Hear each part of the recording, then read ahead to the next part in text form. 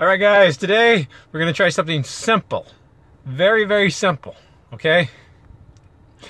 And it's probably the most overlooked of all maintenance options on a diesel motorhome. Uh, you'll be really surprised. Some of you may not even know this is a thing. And I can tell you, very few people ever ask me to even change this part. And uh, it's kind of an important part when you think about it. And I can tell you also, if you visually inspect it, you can also see on every used motorhome out there, nobody ever changes this. So check this out.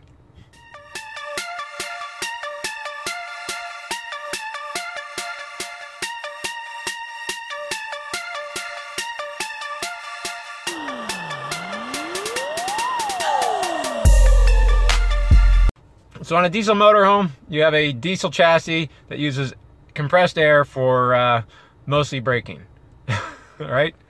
Uh, that compressed air is taken from the atmosphere. It's going to have moisture in it and it's going to have dirt in it. So there's a desiccant type air filter right at the beginning where the air is coming in that helps dry the air out before it gets compressed uh, and before it goes to the tanks. And it also is a preliminary air filter. No, it's basically an air filter. So it looks just like a great big huge oil filter for an engine oil uh, on, on a block. Let's take a look at it. So here it is. Uh, it's a pretty generic one for most of all of them. I use a Napa because, you know, it's easier to cross-reference that. This is what it looks like. Just a great big heavy filter. It just spins on like a normal uh, oil filter would. And it looks like a big oil filter, but it's an air filter.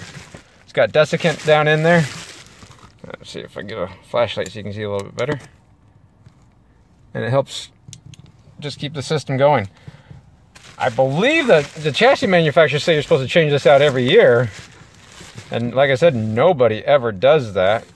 Uh, I will say, because it's such a big filter and nobody changes it out, this uh, gasket gets stuck on there really well. So you need a lot of torque to get it off generally. It gets rusted in place because it's usually mounted upside down like that. So it sits in its own filth. So let's take a look at where this goes and how to do it.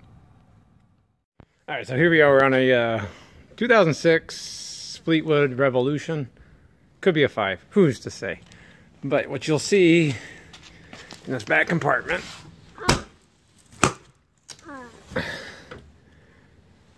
is right here. That's that air filter I was telling you about. This looks like the original one that was put on there. I can't even get the, uh, the protective label off of it so you can see it. But this one was a Wabco, you can kind of read it. But there's Meritor, um, all different site types, but they're all going to use this basic um, type of canister. Um, of course, obviously, it doesn't just do brakes, it does suspensions too, and your air horn if you have an air horn. So I'm going to do is uh, take this off, put a new one on, really straightforward. I'll point out anything that you might need to know at that point. Uh, I will say that sometimes this is hidden way underneath on the inside of the frame. You have to go underneath and do this from uh, underneath. And that's sometimes very unfortunate that manufacturers do that to us. But that's what that is. Now you know better. Now some people might like to use uh, oil filter wrenches like this, but that, like I said, this is a really wide one. Even with oil filters, this is my favorite tool to use. This is a strap type of a wrench. Just wrap it around there. Use a 3 and 3 8 uh, drive ratchet and saw extension. And as you tighten it up, it'll cinch really hard on this. I'll get it put on there. You can kind of see how what I'm talking about. I just put a little bit of a cleaner on there to break anything free. So as you go, make sure you, you know, wrap it up the direction that you're trying to unscrew it or uh, loosen it. So don't wrap it the other way. You just tighten it up there and you're gonna put the uh, ratchet on top and then just start cranking on it. Then you'll have to apologize. I'll have to apologize. This is actually half inch drive, not 3 eighths. I don't know why I said 3 eighths. So all you're gonna do is just keep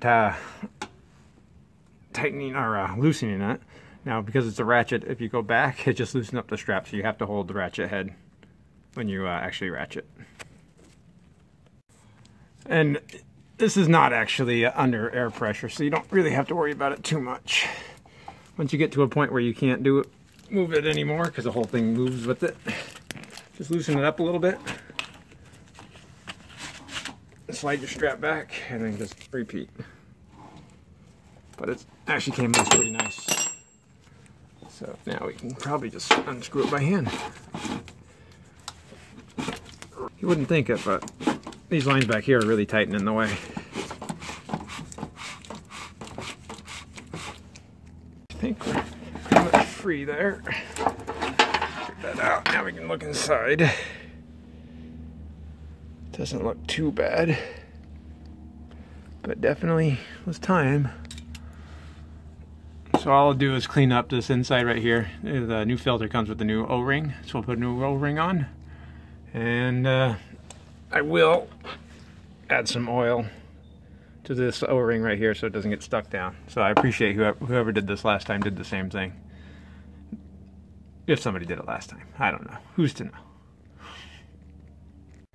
So again, this filter is just uh, got, has a built-in desiccant to help dry out the air. It's going to go to your air, air compressor and then to the tanks. So this air doesn't go to the engine directly, it goes to your brakes and your suspension. Which is, on some level, I think probably more important than uh, the engine. So this should be on a regular maintenance for most people. But it's not always. And like I said, this is a Napa filter I use. It'll cross over to all these other filters. There are a few other ones that bolt on hopefully you don't have that style because they're a little harder to get to.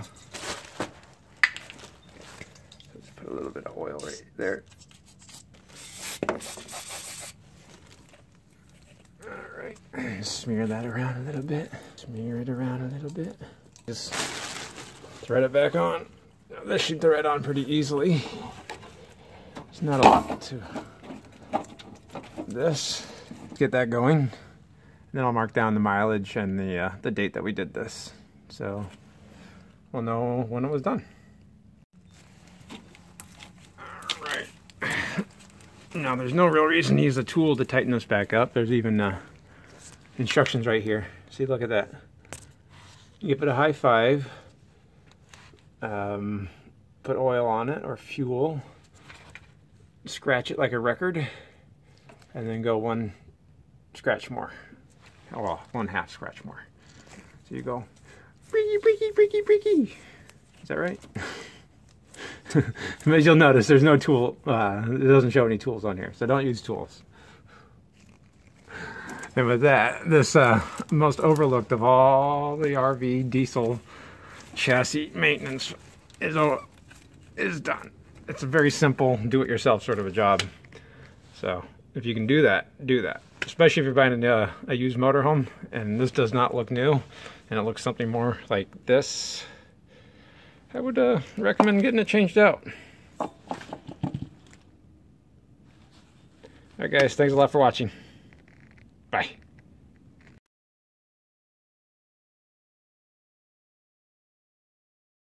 And so there's actually a, a desiccant air filter and in there that um, So there's a desiccant type of air filter that uh,